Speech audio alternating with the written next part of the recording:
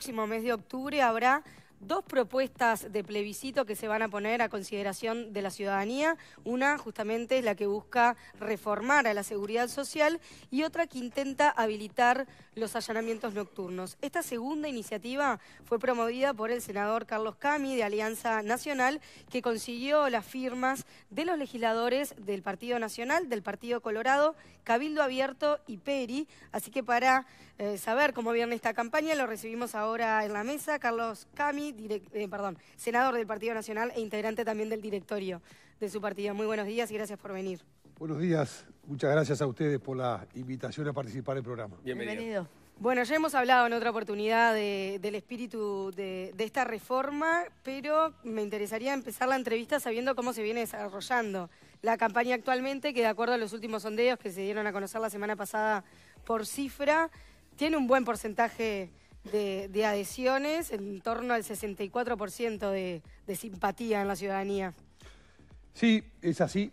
Eh, escuchamos esos datos, coinciden con la impresión que nos ha generado desde el principio que empezamos a trabajar esta iniciativa. Recuerdo como si fuera hoy, en el año 2020, el doctor Jorge Larrañaga, ministro del Interior, me convocó a su despacho en el ministerio y me dijo de manera muy clara, mira, si estuvimos convencidos antes de la necesidad de esta herramienta desde que estoy en la responsabilidad de ministro del Interior, más me he, eh, más me eh, asegurado de que es necesario, muy convencido de que es necesaria esta medida.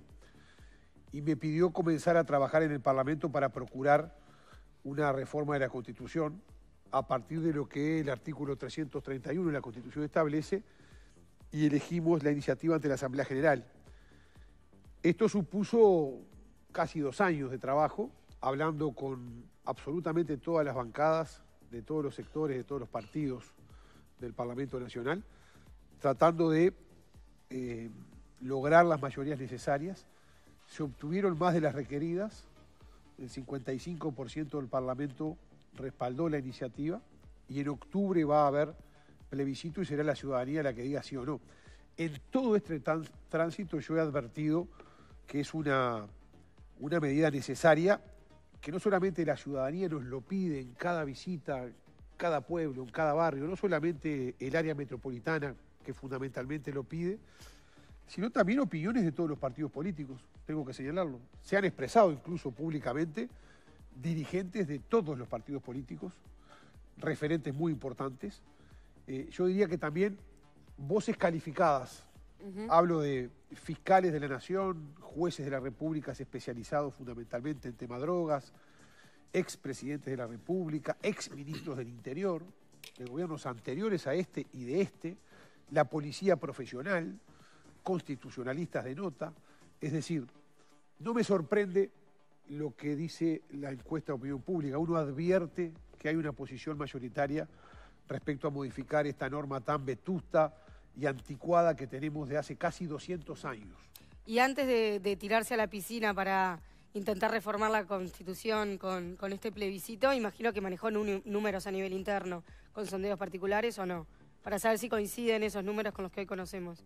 No, mire, en el año 2018 con Jorge Larrañaga, casi en solitario, ni en el propio partido teníamos eh, respaldo mayoritario para eso, iniciamos una campaña, lo que se denominó Para Vivir Sin Miedo, que incluía esta propuesta. No era la única, pero estaba incluida expresamente. Y si bien no fue aprobado ese paquete de medidas, obtuvo casi el 48% del respaldo popular, casi 1.200.000 uruguayos. Y en ese momento fuimos por otro camino. No fue la ley constitucional o la iniciativa ante la Asamblea General, fue la ciudadanía precisamente porque no había un respaldo del sistema político. Fue la gente con la lapicera y la credencial que logró eso. Y, yo tengo la misma impresión que ayer. Creo que es una medida necesaria, concreta. Eh, estamos viviendo una situación fundamentalmente de afectación a la seguridad pública eh, que tiene que ver con el aumento del narcotráfico, del crimen organizado, y no tengo ninguna duda que esta es una herramienta una de las tantas que se necesita impulsar. Y también propuse o eh, elegimos este camino de la iniciativa de la Asamblea General porque es el que pone la decisión final en un plebiscito en la elección nacional. Es decir, podrían haber otros mecanismos que dejaban vigente desde ya esta iniciativa. Pero nos parece que tampoco queremos... La ley interpretativa, por ejemplo. Por ejemplo, la ley interpretativa, que requiere otra mayoría, es verdad, pero permite que el propio proyecto de ley establezca en qué fecha concreta se realiza la consulta popular. Pero también hubieron voces de algunos sectores que decían, bueno, pero este gobierno ganó, y ganó con una propuesta que no incluía esto, háganse cargo. Bueno, no queremos politizar el tema. Es decir, bueno, el próximo gobierno, que no sabemos cuál va a ser, del signo que sea, creo que necesita esta herramienta porque la policía y la justicia la requieren para ser más efectivos en su trabajo. Entiendo entonces que, eh, de acuerdo a este razonamiento, si bien la, propuesta, por ejemplo, de la, interpretación de la Constitución para que el hogar como sagrado inviolable pueda modificarse y que se pueda ingresar por la noche eh, con, el aval de un juez, esto que plantean los diputados Ubí y Lust, podría ser viable, pero usted prefiere que sea la gente la que lo resuelva, para que no quede como que esto es algo que ya, ya se laudó, ya quedó atrás y se hace a prepo, digamos. El tema de esa iniciativa, que respeto y me parece muy loable y bien impulsada por gente muy calificada en la materia, es que todas las opiniones de los constitucionalistas, o la inmensa mayoría de ellos, establecen con claridad y contundencia que se requiere de esta iniciativa al amparo de lo que dice el artículo 331 de la Constitución.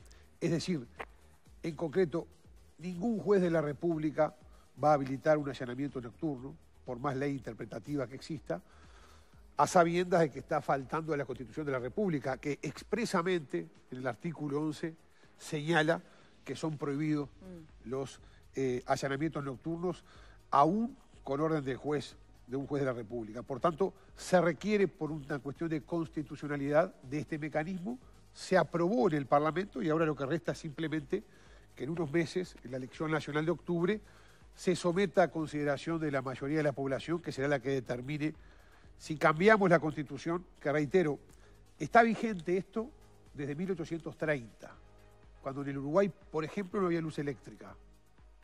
Bueno, eso justificaba, según los propios constitucionalistas, de que en las constituciones de la época eh, existiera esta distinción entre el día y la noche. Durante el siglo XX fueron cambiando, fundamentalmente en la región, las constituciones. Y hoy quedamos cuatro países en el concierto de 203 naciones, involucrando los 193 países que están en Naciones Unidas, más los 10 que no lo están.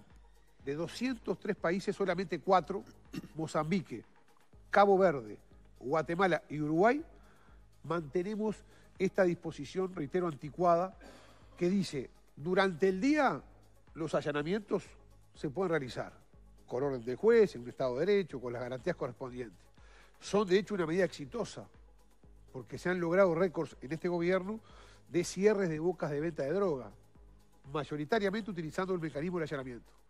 Sin embargo, si cae el sol, en la noche no vale. Lo que de día está bien y funciona, de noche no. Bueno, cuesta creerlo desde la lógica del sentido común. Bueno, eso es lo que queremos cambiar. ¿Se sabe el número de qué porcentaje de los países que sí lo tienen efectivamente lo aplican como un recurso este, a tener sí, Sí, sí, eh, no tengo exactamente los porcentajes. De hecho, también he consultado al embajador eh, de la Comunidad Europea en Uruguay y a algunos jerarcas de otros países, y en algunos países mayoritariamente se hace en la noche. Hoy la tecnología permite no solamente darle la garantía a la persona, sino también a la propia función policial de que de noche y de día es lo mismo. Mire, en este verano, recordamos que hay un triste episodio, el, triple crimen de la floresta, que finalmente fue por la policía, eh, digamos, eh, apresado la persona, el sospechoso. Me decían desde la policía profesional del país, mire senador, nosotros a las 8 de la noche, creo, inteligencia le dio a la policía la certeza de que este señor que se estaba buscando estaba en determinado lugar y no pudieron ingresar porque obviamente había caído el sol. Tuvieron que rodear la, manzana con este, efectivos del PADO y de la Guardia Republicana, con el riesgo que suponía no solamente que se pudiera escapar, sino lo que podría llegar a originar un intento de escape. Dice, de haber tenido allanamientos nocturnos eran cinco minutos. Hoy la policía tiene una tecnología novedosa, que se anunció hace algunos meses, que es la detección de disparos, con mucha precisión. En pocos segundos se sabe de dónde disparó eh, el arma de fuego que detecta esta tecnología que está como plan piloto funcionando en algunas zonas de Montevideo. Bueno, me decían lo mismo, si tuviéramos el allanamiento nocturno nos permitiría muy rápidamente ir, ingresar y entre otras cosas detectar el arma que tanto importa en una investigación y en la finalización de ese proceso. Por tanto, creo que es, eh, lo digo esto con todo respeto, pero eh, yo no encuentro las razones por las cuales podemos amputarnos este instrumento que permitiría, reitero, a la justicia y a la policía ser más eficaces y a nuestros vecinos dar más tranquilidad. Yo recorro, ahora voy a Artigas, después que termine este programa. Hoy voy a estar en Artigas, estoy seguro, hoy mañana. Y mañana voy a estar en Juan Lacase, en Pueblo Rafael Peraza, en San José y en Libertad. Y, mire, todos los días me pasa que un vecino me, me señala la casa y me dice, mire, senador, ahí funciona una boca de venta de drogas y lo sabemos, funciona las noches. Le dan, siquiera, y siquiera ah, denuncian, porque sabemos que la policía no va a poder ingresar. Entonces, es desde el sentido común. Entonces, bueno, me parece que hemos hecho todo el camino para que tenga el respaldo que tuvo importante, lo respaldó el Partido Nacional, el Partido Colorado, el Partido Independiente, Cabildo Abierto, el PERI, y estoy convencido que también ciudadanos que votan al Frente Amplio lo van a hacer, ah, lo dicen las encuestas. A propósito de eso, cuando analizábamos con Mariana Pomies los datos de cifras sobre el apoyo que tenía eh, la propuesta.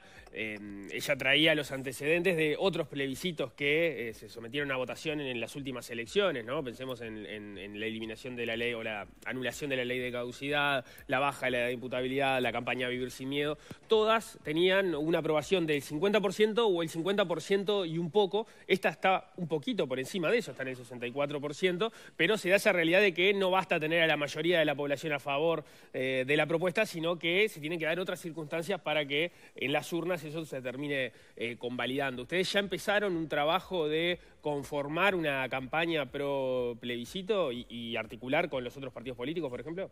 Yo, este, desde el primer día en que fue aprobada esta iniciativa, antes, cuando la presentamos y la conversamos con los distintos sectores, hemos expresado que queremos conformar y vamos a proponer la conformación de un comando que integren todas las fuerzas políticas y organizaciones que respaldan esta iniciativa para organizadamente trabajar de cara a esta instancia de octubre. Lo vamos a hacer después de la elección interna. No obstante eso, en esta elección interna, por supuesto que hay algunos sectores, habemos quienes impulsamos esta iniciativa o estamos convencidos de ella fuertemente que ya estamos haciendo referencia porque es un tema central. De hecho, la seguridad, sin duda, va a ser uno de los temas principales porque también, tenemos que reconocerlo, las mismas muestras de opinión están señalando que la población tiene foco de preocupación primordial en la seguridad. Sí, son, dos discusiones distintas, ¿no? Una es si, si, la seguridad va a ser un tema central de la campaña, que da la impresión que sí. Otra es si el este plebiscito en particular es la sellada para solucionar el problema. Usted mismo ha dicho, es una herramienta más, no necesariamente con esto se va a solucionar el problema de la seguridad. Estoy absolutamente convencido que es así, Nicolás. Nosotros por eso planteamos esta como una medida. También tenemos en nuestro programa de gobierno, junto a Laura Raffo, que hemos sido muy expresos en eso, la eh, ampliación o la consolidación del despliegue territorial de la Guardia Republicana en todo el país y, el refuerzo en el área metropolitana a través del ingreso de mil nuevos efectivos que estarían dirigidos también a conformar cuatro nuevas bases, ya determinadas dónde, una en el departamento de Colonia, una en el departamento 33, una en el sur de San José, en Ciudad del Plata, y otra reforzando la actual base principal en Montevideo, también reforzando la base operacional de San Carlos el Maldonado, del departamento de Rocha y de Tacuarembó, Salto y Bella Unión. Duplicar o casi duplicar las cámaras de seguridad. Se está por llegar a las 14.000 cámaras, con la reciente inauguración hace dos días del ministro del Interior en Ciudad del Plata de 388 cámaras. nosotros creemos, según los estudios de los técnicos que nos eh, asesoran, que se requieren 24.000. Lo mismo precisamos más escáneres. Este gobierno instaló nuevos escáneres en el puerto, pero cubren el 70% de la carga. Tenemos que cubrir el 100% de la carga. Y se requieren radares nocturnos fundamentalmente en el área de lo que vendría a ser los departamentos de Salto y Artigas, porque no tenemos la totalidad de nuestro espacio aéreo cubierto. Y eso tiene que ver directamente con la seguridad, fundamentalmente con el combate al narcotráfico, que es de los temas centrales. O sea, no es solamente allanamientos nocturnos, son varias medidas, pero yo no tengo dudas que la seguridad requiere de seguir trabajando y de medidas eh, potentes, fuertes y comprometidas, porque sea el gobierno que sea, esto no se soluciona fácil y requiere el compromiso de todos. Hablando de, los allanamientos nocturnos, le vuelvo un segundito atrás porque hace un tiempo estuvo aquí eh, una de las integrantes de la policía que nos decía que algo que falta para que esto salga bien son algunos elementos, como por ejemplo los elementos lumínicos, para que uno de los, de, de los problemas grandes es esto de entrar a una casa de noche donde puede no haber luz, el peligro de que eh, haya muchas personas, de que haya niños, bueno, todas las, las cuestiones que se ponen como con reparo a la hora de aceptarlo. Bueno, ahí también hay que hacer una inversión, aparentemente, según lo que dice la policía. Estoy de acuerdo. Yo me he reunido en más de una oportunidad con el sindicato policial sobre este tema porque, por supuesto, que son opiniones importantes. También he hablado con todos los jefes de policía y con la policía profesional. Eh, se requiere de equipamiento técnico que existe y que se pueda adquirir y que también les he señalado que eh, esta norma que impulsamos es doblemente garantista. Es garantista porque establece la orden expresa por escrito de un juez de la República, es decir, tenemos un Estado de Derecho y la expresa participación de un juez de la República. Pero también refiere a una ley reglamentaria que tendrá que establecer allí, la ley, en qué caso se habilita, de qué manera y en qué condiciones. Que supone esto específicamente las condiciones para la acción policial. ¿La policía está preparada? Sí, está preparada, lo sabemos los requerimientos tecnológicos, que son también lo que habilitan la eficacia de esto, que se requieren, tendrán que estar también, por supuesto. Pero, a ver, mm, usted dice que es garantista, pero hay situaciones de riesgo y cuando hablamos de preparación del cuerpo policial se necesita entrenamiento. Y el cuerpo policial no está entrenado para allanar por la noche, de manera oscura, en barrios peligrosos, de callejuelas, de callejones. Pueden dispararse balaceras, aumentando el incremento por la oscuridad y por la situación de riesgo de que balas perdidas vayan a lugares donde no deberían ir. También hay otro riesgo que es eh, probablemente el más alarmante, que es entrar a un hogar de manera equivocada, irrumpir con armas violentamente, una residencia donde pueda haber niños que se despierten en ese panorama, porque los delincuentes también van a empezar a, vulnerar a, ¿cómo decirlo?, a entreverar a los policías e intentar hacerles creer que suceden cosas lugares donde no suceden y si no hay preparación pueden entrar perfectamente, es el riesgo que pasa en otros países, de allanar casas que no son las que, tienen, las que tienen eh, a los delincuentes allí trabajando, ¿no? Mire, la función de la policía supone riesgo, es un oficio que supone riesgo siempre. De hecho, los allanamientos de día también tienen riesgo, de equivocación. Claro, pero la oscuridad es distinta, ¿no? No, no, sin duda. Le digo más, en el barrio Santa Mónica, uno de los 17 barrios de Ciudad del Plata, pasó hace no más de dos meses de que se fingió un allanamiento nocturno y coparon. y hoy no están habilitados los allanamientos nocturnos. Es decir, los episodios de engaño y los riesgos existen siempre. La policía está preparada porque se forma para eso, incluso tiene cuerpos especiales para eso. Tiene que sí tener los requerimientos tecnológicos que den esa seguridad, tanto al propio policía como también a las personas. Y eso se puede adquirir y está previsto hacerlo. Por tanto, eh, como funciona en el mundo, este, en ese sentido no hay riesgo. Yo creo, o existen riesgos, pero yo creo que el mayor riesgo, ¿sabe cuál es? La gente. Porque hoy hay barrios, hoy hay barrios, los hubo en el gobierno pasado, los hay en este, los sabrán el próximo, donde lo que se incrementa son las balaceras y el riesgo de la gente que no está involucrada en el negocio del narcotráfico o que no está en el delito de crimen organizado y que no está en las actividades ilegales. Que vive en esos barrios la, gente común y corriente, el trabajador, la familia normal, que son los que sufren, eso sí, sufren el riesgo, porque también hemos visto balas perdidas que han matado gente inocente o que han entrado en casas con niños. Y ahí no está el allanamiento nocturno en juego. Entonces, acá me parece que es bien claro, hay que fijar en este tema posición de qué lado se está. Si de darle una herramienta más a la policía y la justicia en un combate difícil que tenemos que dar como país y no asociándolo a partidos políticos, a gobiernos de turno. Esto es en serio.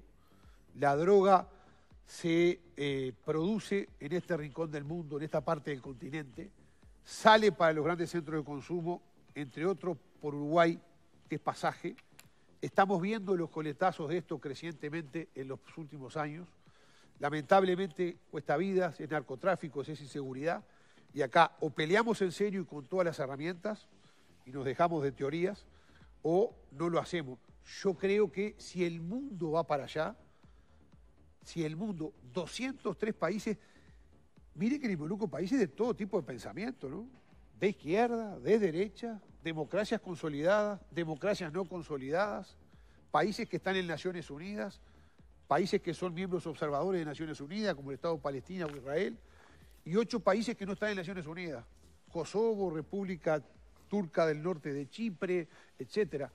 De 203 países del mundo, cuatro nada más cuestionan el allanamiento nocturno por presuntas eh, condiciones negativas, supongo, no sé.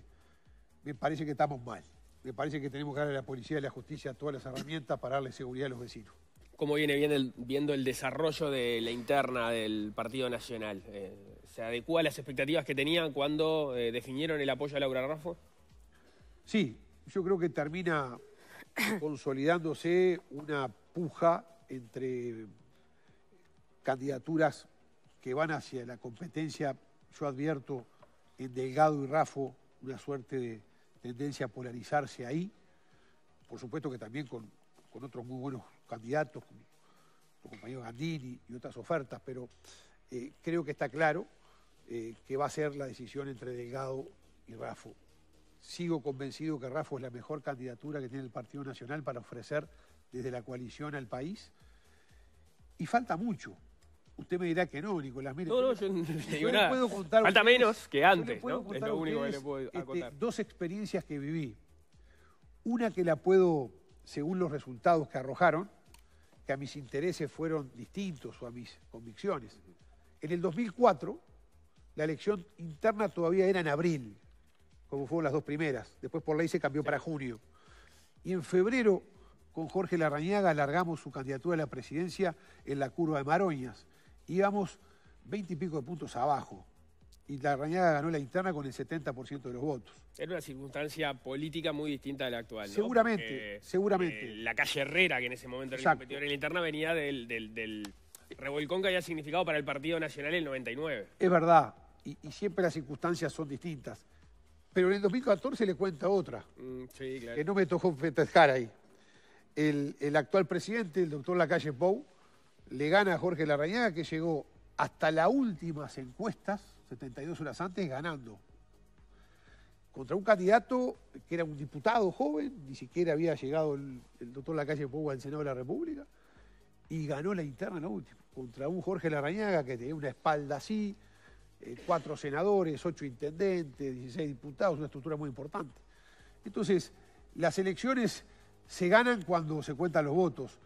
Eh, yo veo atractiva la del Partido Nacional, llevada en buena manera, en unidad, es una elección de preferencia, de candidato y candidata que mantienen perfiles o matices para aportarle al partido distintos y complementarios, y aspiro que, el, mismo 30 de junio se selle la fórmula escuchando a la interna y comprendiendo a todo el partido. ¿Con qué, criterio, ¿con qué criterio se debería de, de sellar esa fórmula presidencial de cara a octubre? Con el criterio de que quede comprendido todo el partido. Eh, no puede ser pan con pan. Tiene que comprender un partido que es diverso, que tiene sectores distintos, y ahí va a estar, no tengo duda, eh, una parte fundamental para el éxito en octubre. No lo tengo, sin ninguna duda, lo tengo bien claro. Eso quiere decir que el candidato que caiga en segundo lugar debería ir de vice. Ah, yo creo que sí. No, es Creo lo que, que- no no, es lo me que imagino, creen todos, ¿no? me imagino eh, una solución que no escuche, que no mire, que no atienda lo que la población nacionalista votó ese día. Bueno, si usted me dice que un candidato gana 95 a 5, bueno, seguramente por lo menos habrá que pensarlo. Pero yo creo que hay que comprender a un partido que tiene, como todos los partidos en el país, por eso tenemos una democracia de partidos, de partidos sólidos, como no lo tiene la región.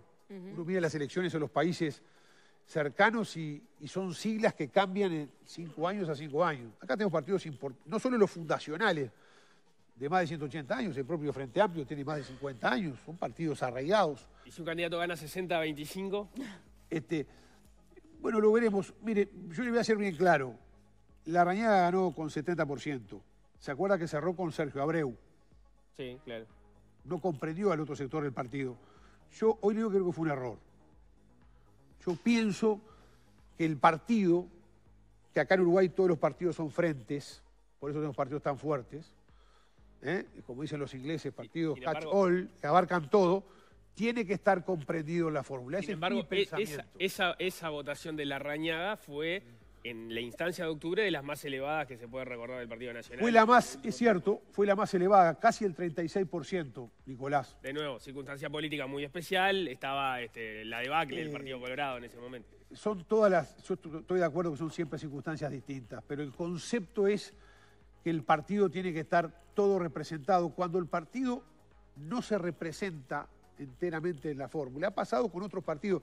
Pero yo no quiero poner ejemplos de partidos que no son el mío. Sí. Hablo del mío, que cuando eso no pasa, eh, después pueden haber este, circunstancias eh, que nos lamentamos. Pero a partir de qué número, de qué porcentaje puede llegar a ser significativo. Bueno, la verdad que yo creo que no sea, también creo que no es matemático, ¿verdad?